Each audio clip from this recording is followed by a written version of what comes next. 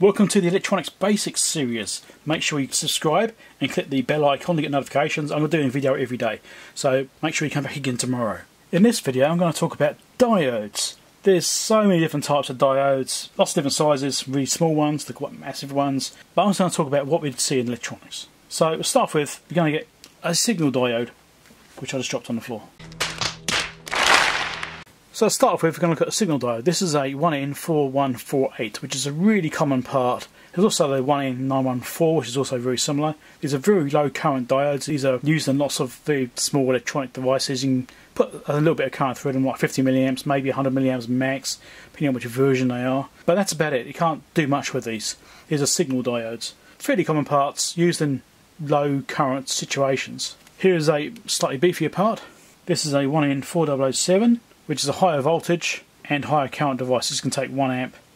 I think this is rated for 500 volts, I think it was. I can't remember exactly now, but this is definitely higher voltage, right? So these can withstand a lot more. This is a power diode.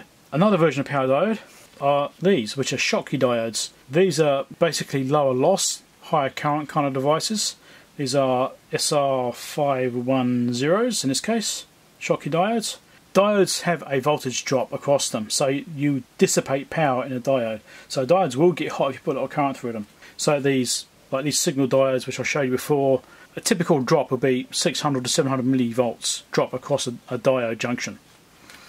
Schottkys are much lower than that; they're half that basically. Um, sort of 300 millivolts would be typical, you know, around that sort of region.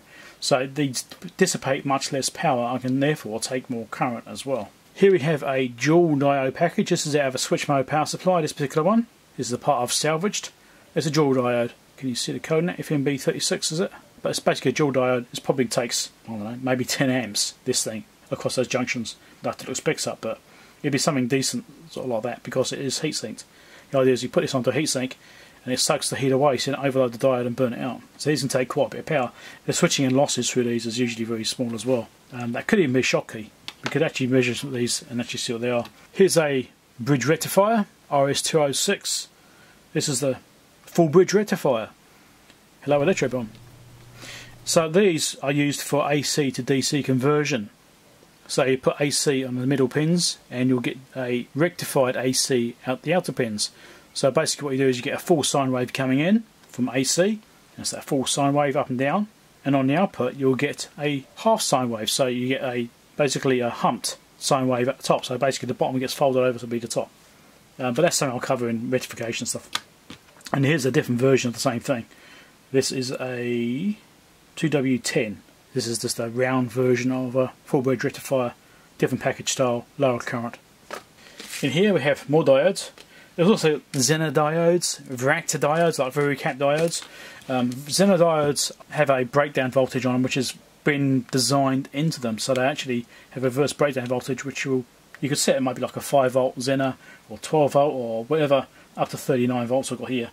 And you put a voltage across those through a resistor, which we covered before, and they can only take a small amount of current, not talking about a lot of current, and they will regulate to that voltage, kind of. They're temperature sensitive, current sensitive and that kind of stuff. But it gives you a ballpark voltage for something which isn't too critical. So that's what they're generally used for. Um, also got surface mount devices here. Like this is a surface mount 1N4007. Right, it's a surface mount version of this one. All right, so I've got lots of parts in here. Um, I've also got surface mount bridge rectifiers. Right, so it's a surface mount bridge rectifier, which is like the equivalent of one of these, basically modern technologies making things smaller. There's also things like TVS diodes, which are transient voltage suppressors. So what they do is they clamp, a bit like a Zener diode, but only they can take a much more current and they're really fast. So they can actually clamp down a voltage spike and shunt it to ground. They're basically short out. And you can use those as protection against um, over voltage situations in certain bits of gear. Let's measure the voltage drops across some of these diodes to demonstrate that. Here's my Fluke 175. It's set to diode mode. As you can see with the diode symbol over here. So measure this diode, nothing in that direction. Swap around the other way. In that direction we're getting 0.6 volt drop across that diode, which is typical. Right, here's a signal diode, like I said, same deal, should work the same way. The positive lead on the banded end, should be no conduction. Spin it around the other way, and then we should get a voltage drop of about 0.6 volts. Again, typical. These Schottkys will be different in that reverse direction, say 0.34 voltage drop. And this way should be nothing as per the others.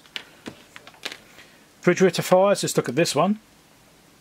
In that direction, nothing. In that direction, nothing, because it's a center common. Swap it around. This direction, getting 0.15. And this one here, 0.15 also. So this is a really uh, good one. This is a very low resistance on this one. This is some kind of Schottky as well, which is a low power dissipation. So it'll be a very low power dissipation in this device from being 0.15 voltage drop because, it, because power loss is due to resistance and voltage drop and current. This bridge rectifier here, bridge rectifier has four diodes and like this one has two diodes. Bridge rectifiers have four diodes in them. So you can actually measure, just depending where you stick your probes on, just stick a probe on here, go to the positive, nothing there, go to the negative, should be nothing there, this side here, there's conduction. Alright, and if I come to this lead and do the same thing, I've got conduction, that side, nothing, because that's the positive side, that's like the banded end of the other diodes, effectively. If I stick the around the other way, I'll get that one, side there on the AC, we get that one. And across each other you may see some kind of leakage between them because you are going through two diode junctions to get there because of the AC element. I might just stick an overlay to show the diode package. It's basically four diodes in a, in a format but we'll cover that as well. And this will be the same.